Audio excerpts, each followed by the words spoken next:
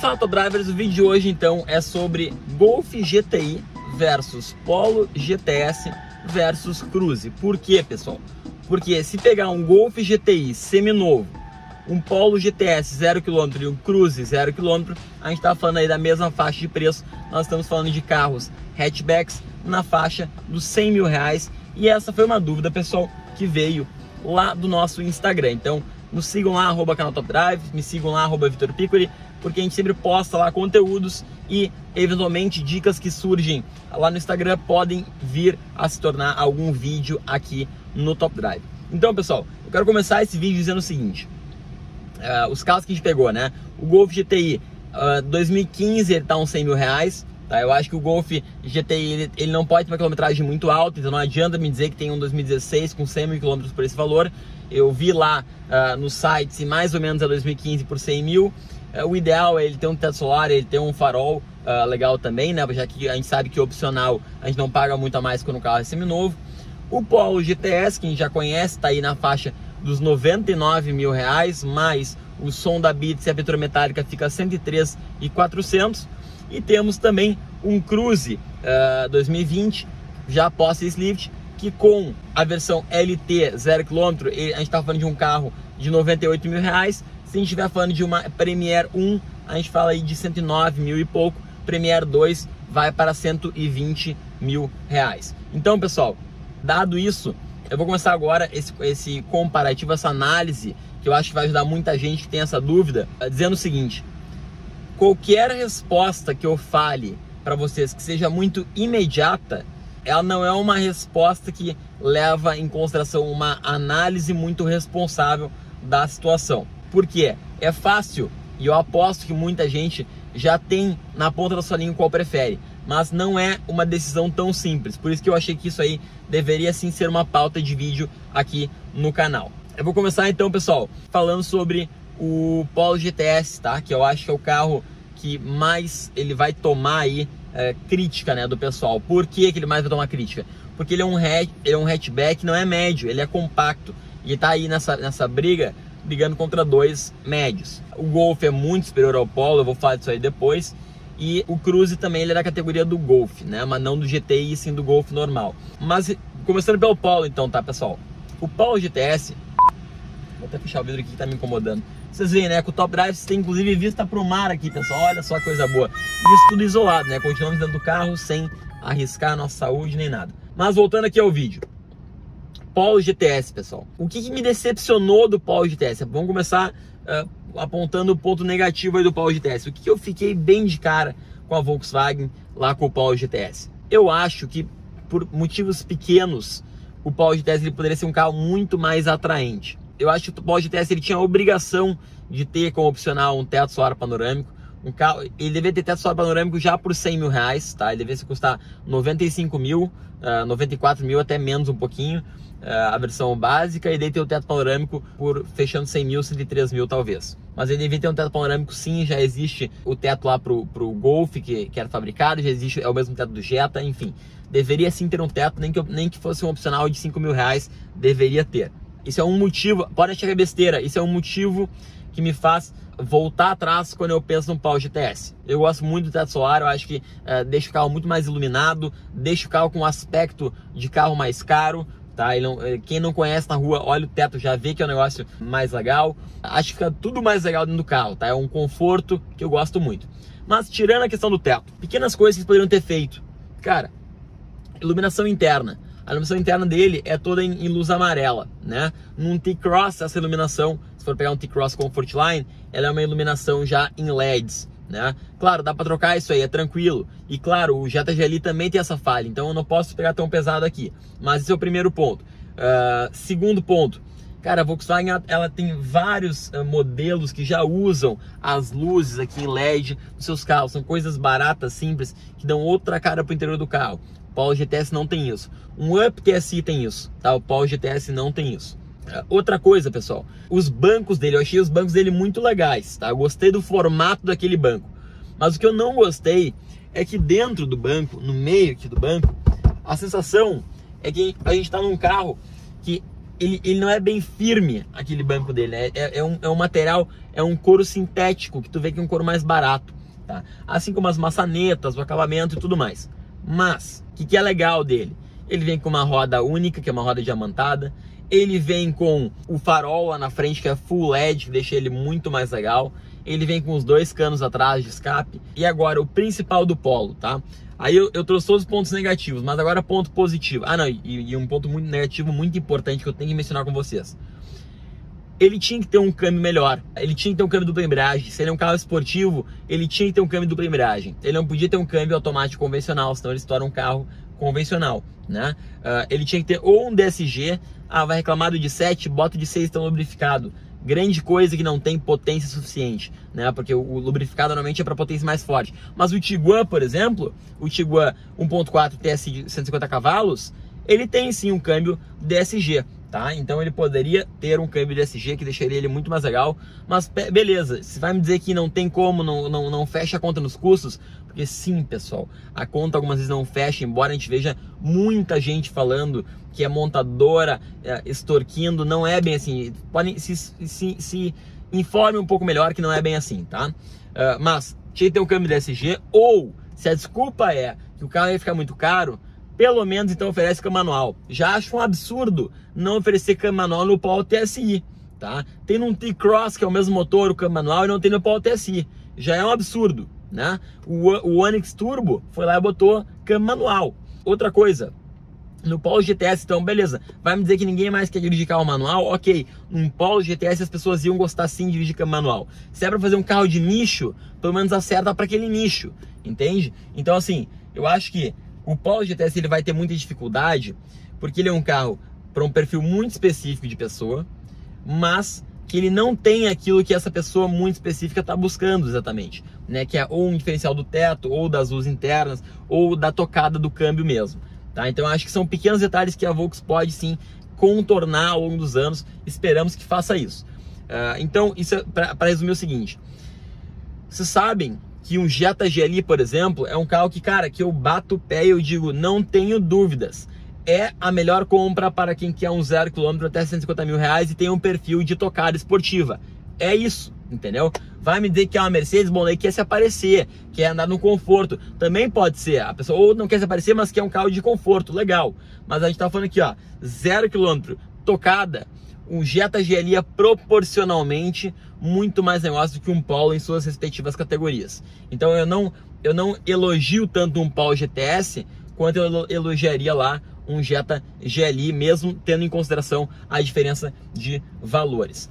Entretanto, e agora entra o ponto principal aqui do Polo GTS, vocês, vocês e eu também, todo mundo esquece que existe um negócio que se chama atualização, correção monetária, pessoal. Então, assim, até o Leositor fez um vídeo muito legal lá no canal dele, lá no Top Speed, em que ele fala lá que um Gol GTI na época, ele, é, se a gente atualizar os preços para hoje em dia, ele custaria muito mais de 100 mil reais, tá? Então o Polo tá 100 mil reais. Se a gente for pegar um Polo GTI lá de 2007, e a gente, em, que custava 90 e poucos mil, e a gente atualizar o valor para uh, o 2020, seria mais de 200 mil reais. Então essa história de que os preços estão ficando absurdo, é uma história que a gente tem que ser muito crítico uh, e analisar bem antes de falar isso aí, para não falar besteira. Não é que os preços estão ficando um absurdo, é que ah, os valores se atualizam, né? A gente não leva em consideração o nosso aumento de salário e tudo mais. O Polo GTS ele não tá tão caro assim, tá? Quanto, quanto se fala. Ele é caro porque a gente, a gente vê que é um carro de nicho. Ele é um carro de nicho e que não é um ícone, porque ele falta lá um câmbio DSG, falta alguns detalhes que eu já falei lá no início. Mas ele é um carro, pessoal, que se a pessoa estiver buscando um hatchback por 100 mil reais, ela vai conseguir manter ele. Por que, que eu estou dizendo isso? Porque eu dei uma olhada no seguro lá do Polo GTS, pelo menos do Virtus GTS, e o seguro de um Virtus GTS para o mesmo perfil de pessoa é mais barato do que um Jetta Comfortline. E o Jetta Comfortline não tem lá um seguro tão alto, né? Então, assim, apesar de tudo isso que eu estou falando do Polo GTS, a gente tem que levar uma coisa em consideração. Hoje em dia, mais do que nunca, a gente tem que saber manter o carro. Não adianta ficar dizendo que o carro não tem acabamento, não sei o quê, e comprar o carro lá, se estourar na grana e não conseguir manter. E agora a gente entra então para o Golf GTI. O Golf por si só, ele é um carro muito superior ao Polo GTS ou ao Polo, enfim, é um acabamento muito melhor, ele tem uma, uma construção muito superior, né? Poxa, o Polo GTS tem a suspensão traseira de torção, o Golf GTI não tem isso aí, né? O Golf GTI é multilink. Uh, é claro, o Golf nas últimas versões, lá 2016 para frente, começou a vir com a distorção, mas ainda assim um carro muito superior, a construção, acabamento é muito superior. Então, o Golf GTI, ele indiscutivelmente vai pegar um cara que é mais autoentusiasta, nós, por exemplo, a pessoa vai preferir um Golf GTI. Né? O Golf GTI ele é melhor que o Polo GTS, mesmo sendo 2015. Vai ser muito mais tentador pegar um Golf GTI, tá? Uh, e eu mesmo, pessoal, eu estou fazendo esse vídeo para vocês com tanta vontade, porque isso é uma dúvida que eu tenho. Né? Eu compraria algum desses carros aí, talvez eu até compre algum deles em breve. Vocês vão, vão definir nos próximos meses, próximos anos, talvez. Mas a gente tem que ser inteligente, tem, tem que pensar bem. Um Golf GTI, pessoal, é muito legal, anda muito mais, dá para fazer um remap nele, fica um carro que é top, mas ele tem um seguro que é caríssimo. Ele pode custar, pessoal, duas vezes o preço do seguro de um Passat, dependendo da cidade. Tá? A gente tem um, um, um, inscrito nosso, Top Driver, que comprou um Passat zero quilômetro, porque disse que o, o, ele orçou o seguro de um para o outro. O do Passat dava 4 e do Golf GTI dava 8, para um perfil de pessoa de 50 anos. Então, a gente tem que se ligar nisso aí. Né? Até a, gente vai buscar em breve um parceiro aí de, de olhar preço de seguro para vocês, para fazer com até mais precisão. Mas o Golf GTI, então, pessoal, qual é a regra que eu faço, tá? Ele é mais caro que o Polo GTS, óbvio. Ele dá mais prazer em dirigir que o Polo GTS, óbvio. Ele é mais interessante? Sim, mas tem dois pontos que a gente tem que lembrar. Um, ele é ele tem um seguro muito caro, tá? E dois, ele é caro para um seminovo. O Golf GTI, pessoal, ele, ele, tem uma dificuldade de desvalorização muito alta. As pessoas esquecem e ficam muito vidradas, ah, vou pegar um GTI, GTI, GTI, e só pensa em GTI, isso, ó, eu que gosto de Golf, lancei para vocês. Esquecem que tem BMW 125i pelo mesmo preço, às vezes quilometragem menor. Esquecem que tem BMW 118i Sport GP pelo mesmo preço. Esquecem que tem A3 2.0 Turbo Ambition, tá? Esquecem de todos esses, porque tem assim essa vontade de ter o Golf GTI. E eu entendo, eu entendo porque eu também penso em ter um Golf GTI provavelmente algum dia, ou até um Polo GTS. Confesso, eu teria um Polo GTS, tá? Por quê? Qual que é a situação que eu teria um GTI e um GTS? O GTI, pessoal, eu acho que é o carro a ser comprado quando tu tem, tu tem 85 mil, mas tu poderia ter 100, tá? Tu tem esse dinheiro, tu tem essa grana.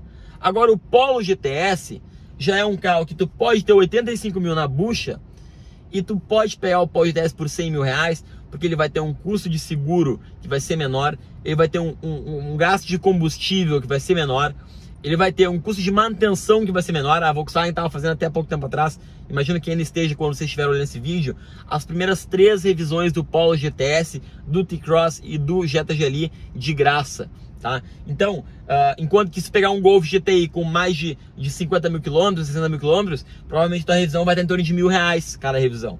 Então, pessoal, é, é muito relativo, tá? Depende. Eu acho que essa regra que eu defini aí de ter a grana na bucha, sem pau na bucha e pensar em pegar um GTI para ter mais carro e poder fazer uns ups nele, daqui a pouco pegar um GTI sem LEDs e botar o LED, eh, mudar a roda, fazer um, um upgrade de motor, acho que é show, tá? Mas quer ser um pouco mais conservador, quer pegar um carro que seja mais de acordo com a sua realidade financeira, quer uh, ter um carro que é igualmente legal para os top drivers, pega um Polo GTS que eu também penso em pegar um Polo GTS algum dia. Depende da minha condição financeira, entendeu? Depende o quão eu tiver para a grana que eu tiver uh, na minha conta. A pessoa que disser eu pego um Golf GTI certamente, ela provavelmente tem mais grana do que a que já fica um pouco mais relutante e que pensa talvez no Polo GTS seja uma boa. Porque o Polo GTS, pessoal, ele tem um câmbio ruim, tá? Ele tem um câmbio que ele poderia ser melhor.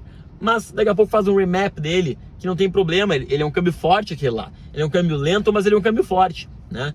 E vamos rezar para a Volkswagen trazer então um Polo GTS manual pra gente. Vamos, vamos fazer o seguinte, pessoal. Comenta. Quem gostaria de um Polo GTS, comenta hashtag Polo GTS manual aí pra gente. Que a gente quer saber se isso aí é algo que vocês também pensam ou não. Já que um DSG eu acho muito improvável que eles venham a trazer. E agora vamos então para o Cruze, pessoal. É muito comum as pessoas pensarem no Cruze pelo custo-benefício dele. O Cruze é um carro hatch médio, ele tem um excelente acabamento né, nas portas, ele já vem com 6 airbags na versão de entrada, ele tem um motor 1.4 turbo, tá? Mas assim, a gente tem que levar em consideração no Cruze. O Cruze ele possivelmente vai sair de linha em breve, tá? É possível, porque ele ficou sozinho, ele ficou no Oceano Azul. E mesmo assim ele vende pouco, né? Ele anda bem, anda bem, mas ele, ele toma um pau de um Polo GTS numa pista, tá? Porque ele é bem mais manso no câmbio dele. Né? O Polo GTS já tem um ajuste de, de troca, uh, de suspensão, que é, é voltado para a esportividade. Mas é claro, o Cruze ele é mais carro, né, por dentro, acabamento e tudo mais.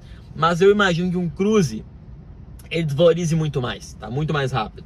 Então, pessoal, eu acho o Cruze um baita carro, aí de 99 mil reais. Tem o, o Premier também, que custa os seus 109 mil na tabela. É possível que a, a Chevrolet dê uma margem de desconto, isso é importante ficar ligado, né? Sempre nas margens de desconto. Inclusive, eu, eu reforço com você sempre quem estiver buscando um carro zero quilômetro, o Top Drive, nós, vocês estão vendo, eu estou cada vez mais pesquisando o preço real dos carros para trazer para vocês, porque a recomendação de compra ela se baseia em produto e negociação. Então, os primeiros que me chamarem lá no arroba Vitor Piccoli, eu estou me dispondo a selecionar 15 pessoas para ajudar na compra do carro zero quilômetro, principalmente se for em Porto Alegre, porque a gente conhece pessoas de concessionárias e a gente sabe qual que é o preço final do carro, qual é o preço que realmente sai aquele carro para fazer um resumo mais objetivo e não ficar nessa aí, ah, é 109 mil, mas daqui a pouco vai lá a Chevrolet e faz o Premier por 95, entendeu? Sei lá, tem, tem muita coisa que muda nisso aí.